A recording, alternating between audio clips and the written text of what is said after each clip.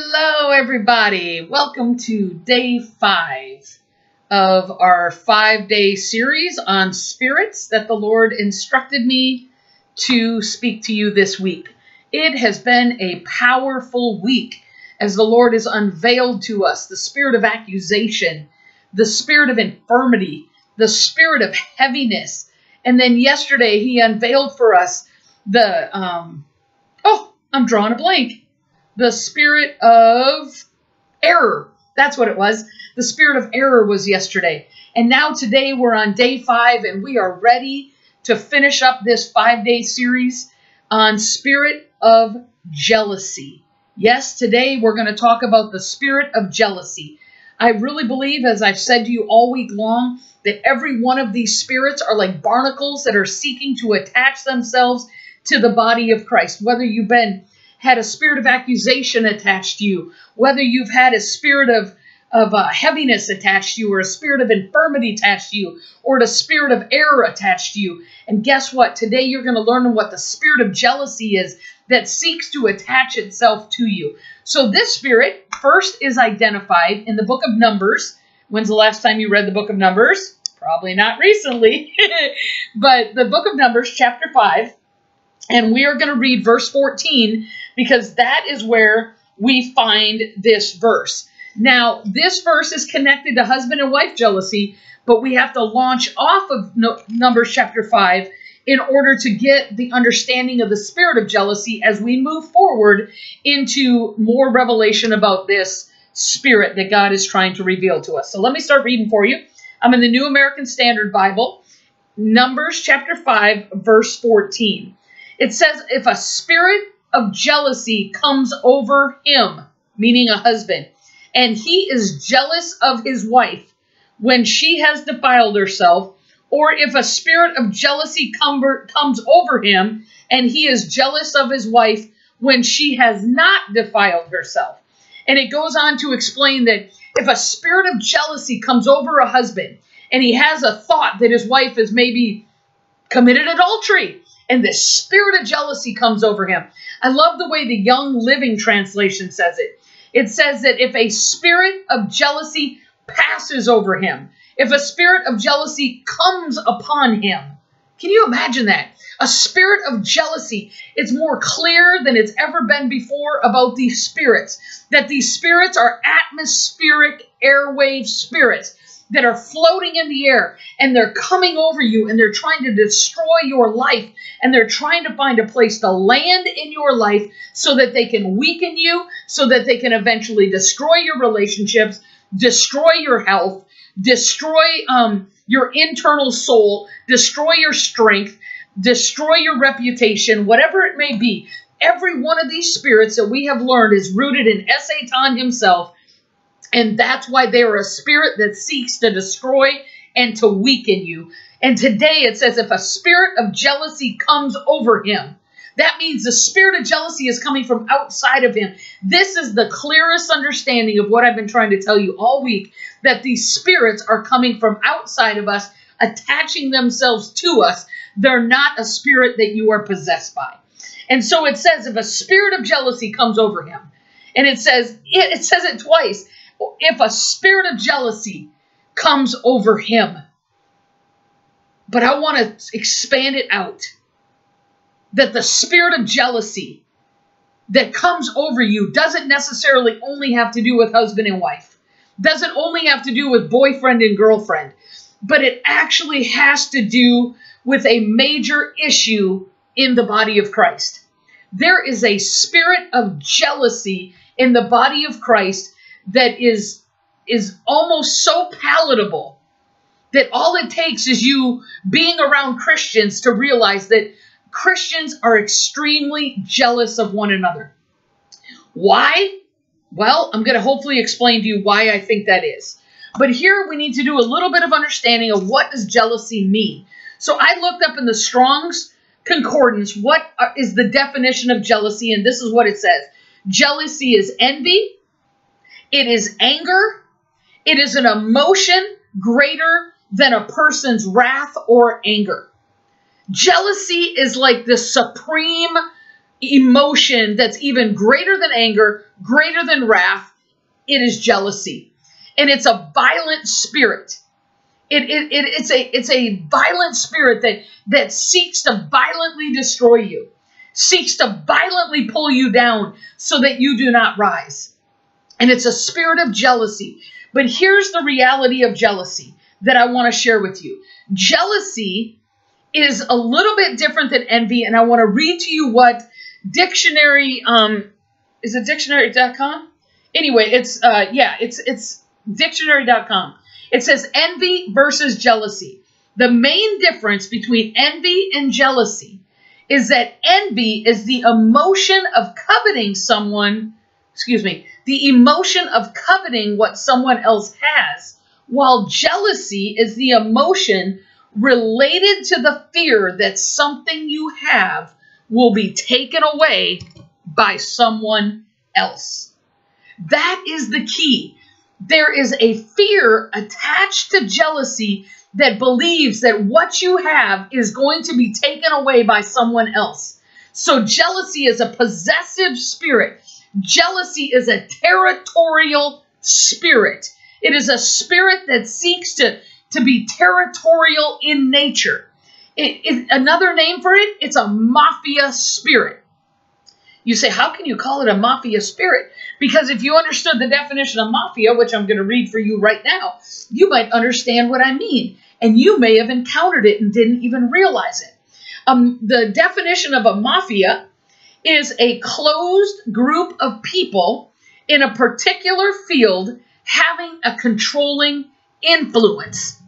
A closed group of people in a particular field having a controlling influence. You remember the, the man in the Gadarenes in Mark chapter 5? And he was um, cutting himself with rocks and he was living in the tombs and they tried to chain him up and he would break the chains. And Jesus came and he fell on his feet before Jesus and he said, uh, Have mercy on us, Son of God. We know who you are. And Jesus said, What is your name? And they said, Our name is Legion. That is a mafia spirit, it's a mob spirit. And that mafia spirit was territorial because what did they say to Jesus? If you're going to cast us out, do not cast us out of the region. You can find this in Mark chapter 5. Do not cast us out of this region. Why? Because they had a mafia spirit. It was a territorial spirit. So they said, if Jesus said, All right, I'm going to cast you into the pigs. He was letting them stay in the region because um, but little did they know that they were going to be drowned in the sea and never to rise again. But this mafia territorial spirit is actually a spirit of jealousy. It fears that there is not enough to go around, so it's rooted in a fear of lack, and it's afraid you're going to take what God gave them. It's a mafia spirit. It gets very protective, very territorial, and it gets almost violent. And it's very dangerous. And it is a spirit that comes upon people. It comes upon church people with a vengeance because it, it on its lowest level, it becomes competition. So many believers that I have spoken to are so afraid that somehow they're going to miss out on what God is doing. And so, therefore, they self promote, they self market, they self establish, they do everything out of self. And here's what Bill Johnson says Bill Johnson says anything that you start with self, you have to maintain with self, and it is exhausting. But anything that the Spirit of God starts, the Spirit of God maintains, and it's liberating. Here's how the Lord spoke to me. I was working as a senior pastor in Kuala Lumpur, Malaysia. My husband and I um, started a church there. And I was standing behind the sound booth running the sound system. And my husband was preaching, and the Lord spoke to me, and He said to me, He said, Lisa, He said, if you want man to lift you up, man will bring you down. But if you let me lift you up, no one will be able to bring you down. And I knew right then and there that I never had to live in fear that I was not going to get my chance to be a public communicator of the gospel of Jesus Christ. I had no idea. This was like eight years ago when God spoke this to me, and I will never forget it because so many people have tried to promote me, try to self market me, try to do all this stuff for me. And I'm like, no, no, no, no, no, no.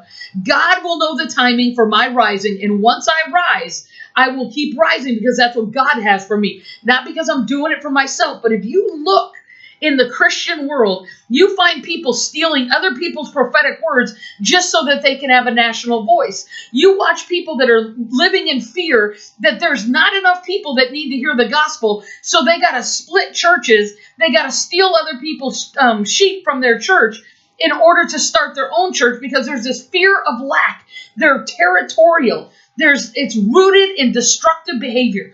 This spirit of jealousy is demonic and it comes upon believers. It Doesn't possess you, but it comes upon you and it seeks to destroy you because then you exhaust yourself trying to, can I use the words, keep up with the Joneses. Try to have the latest prophetic word. Try to have the most important revelation. Try to have the biggest ministry. And it just becomes this, this nasty, angry, wrathful, jealous game of who has the biggest, who has the best, who has the most, who has the most relevant? Who has this? Who has that? And it's just nauseating because the spirit of jealousy is demonic in nature and it's destructive by design. Here's what Proverbs chapter 27 verse 4 says. Wrath is cruel and anger a torrent, but who is able to stand before jealousy? Ladies and gentlemen, we have got to scrape this barnacle off our life. We have got to get this spirit of jealousy off of our life because it is rampant. There's such a belief that somebody else is going to get to do something and our dream is not going to be fulfilled. That somebody else is going to be the first one to release that prophetic word and nobody will listen to my voice. Can I read you something out of James chapter 3, verses 14 and 16? It says that envy and self seeking are wonder twin powers. Wherever you find envy, you're going to find self-seeking. And what this is saying is, is that jealousy is a selfish spirit. It's a spirit that believes that there's not enough to go around. It's a territorial mafia type spirit that has to remain in control out of fear of losing something. And I would just propose to you that this spirit is destroying the body of Christ. You have denominations that have this spirit attached to it. You have churches that have this spirit attached to it. You have individual believers that have this spirit attached to it. And I'm telling you, this is not the kingdom of God. The kingdom of God is trying to rid us of all of these spirits because they will not work in the kingdom. If you are a kingdom builder, you're not in competition with anybody. You're not trying to self promote or self market. You're speaking whatever God said for you to speak, whether He says, like He's told me these five days. God has never told me to do this before. I have never blitzed YouTube or Facebook or any other media platform with multiple messages like this. This is not, I, I have never done this. And the Lord is saying that, that He wants to deal with the spirit of jealousy. And here's how He does it. You want to know the cure to the spirit of jealousy? Which is a spirit of envy, which is anger, which is wrath, which is destructive. You want to know what the answer is? It's a twofold answer, and it's one and the same thing. It's love and generosity. 1 Corinthians 13 4 says, Love is not envious. Love does not envy. Love is not jealous, is what another translation says. Real love is not jealous. And what does the Bible say? If you have not love, you are nothing. Therefore, the cure, and let me tell you this also. The Bible also says that perfect love casts out all fear. If you Know that you are loved by God Almighty and by the people around you. You will have no fear of missing out on what God has created you for. And here's the second part generosity, and this is critical as well. And I want to read you this verse out of, oh, I wrote the solution on the back. I want to read you this verse out of Proverbs 11 24. It says, One gives freely and becomes more wealthy. Be stingy and lose everything. Did you know that generosity breaks the spirit of poverty? Br- generosity breaks lack. Generosity with what?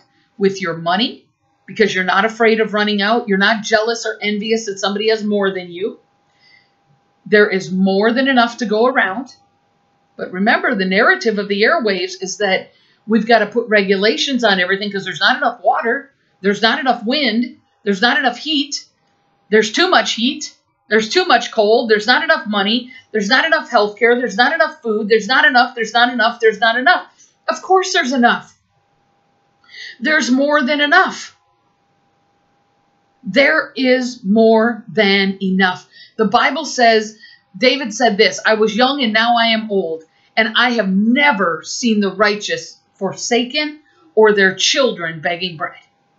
You never have to fear that you're going to run out. You never have to fear that you're going to go without because God is able to get you what you need when you need it and how He wants to do it. Do you understand that the kingdom of God is not the governments of earth? You are not to look to the government of earth to meet your needs. You are to look to the kingdom of God. Matthew 6:33. Seek first the kingdom of God and his righteousness and all these things will be added unto you. Seek him and he gives it to you. He's got you covered. You're talking to somebody that for 5 years has lived by speaking forth the word of God in truth and in power and decreeing and declaring, God, this is what I need. This is what I need right now. You told me to seek you, not to work a traditional job, and you'll provide for me. I've never begged bread, obviously. I've never asked anybody for money. I've never done a GoFundMe account. I've never done a fundraiser campaign. I've I've said, you know what? If you're blessed by what God is doing through me and you want to help support this ministry, we would love for you to do that. But I have never not done what God told me to do, and He has always provided every step of the way. Do I have an, a surplus in the bank? Absolutely not. You would be stupefied if you knew how close to the edge I lived financially. But God is faithful because he said, The Lord is my shepherd and I shall not want. He makes me lie down in green pastures. He leads me beside still waters. He declares rest for my soul. I have no fear of lack because the Lord is my shepherd. I'm not jealous of others that get promotions. I actually go into different regions and cities and unlock the spiritual atmosphere so that wealth can get into the hands of people that I know and love and people that have asked me to come in. I do it. I don't charge them to do it. They get a breakthrough whether they remember me or don't remember me. Like I said, my job is to do what God told me to do. He is the rewarder, not man. Yes, he will use man as he puts it upon man's heart and women's heart to sow into my life. But I'm not afraid of running out because man, government, none of these people are my source. I'm not jealous of their prosperity. I'm not jealous of their marriage. I'm not jealous of the house they live in. I'm not worried about the car they drive. I'm not concerned that they have a bigger ministry. I'm not concerned that they have a microphone and I don't. I'm not worried about these things because God said, when I lift you up, no one will bring you down. You see, if God does the lifting, God does the lifting. God knows when it's time for you to be in ministry. God knows when it's time for you to be married. God knows when it's time for you to have money. God knows. He made you. He knows exactly what you need, when you need it, how to give it to you. And guess what? It's all about Him getting glory out of you. He says it's to the glory of God to conceal the matters, to the glory of kings to search it out. I believe there are people that have been concealed for such a time as this so that God can get all kinds of glory.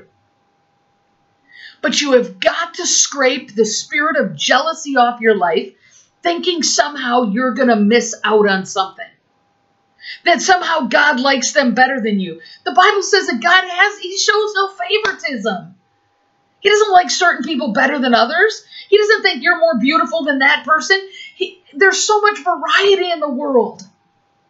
The spirit of competition and jealousy and envy is just got to come off of the body of Christ.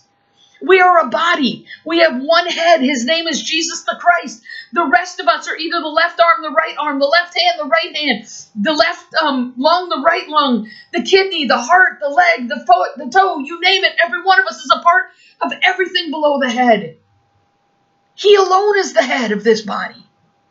There is no other head. Sorry. He alone is the head. And as we submit to him, he takes care of everything, you guys. You don't need a godfather. You don't need some man that's going to call you into ministry to help you. You don't need some network that's going to promote you. You need God. I need God. And guess what? There's plenty of resources and there's plenty of people and there's plenty of ministry opportunity. And when He wants to create a place for you, He will do it. He will do it. You just do what He tells you to do and let Him do what He needs to do for you. You don't have to be jealous. You don't have to be worried that you're going to get left behind. You don't have to be afraid that you're going to run out.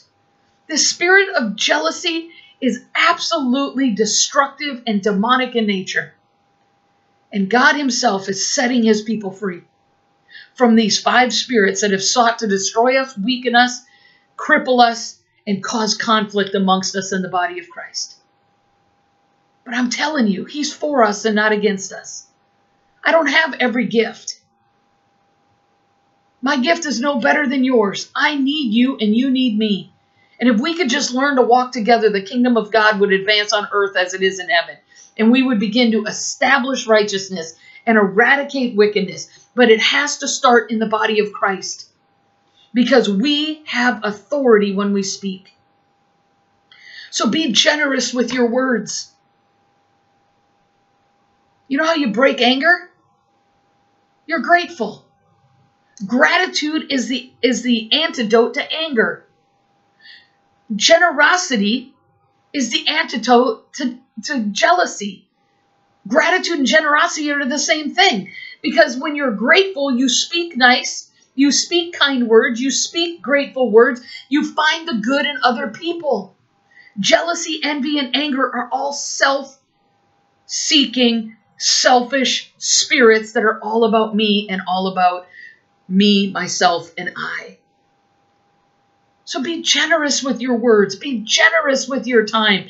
Be generous with your love. Be generous with your money. Be generous on every occasion. You're never going to run out. I'm not telling you not to be wise. You need to be wise. Pay your bills. Set boundaries around your time. You have a husband, you have a child, children, whatever. I mean, don't just don't don't let people control what you do. God never made you to be controlled by another person. The Bible, nowhere in the Word of God does it says that any other person has dominion over you. It says that we have dominion over the resources of the earth. Mothers and fathers have dominion over their children in order to train them. But everybody else, no, we're all partners in ministry. We have one head. It is Jesus the Christ.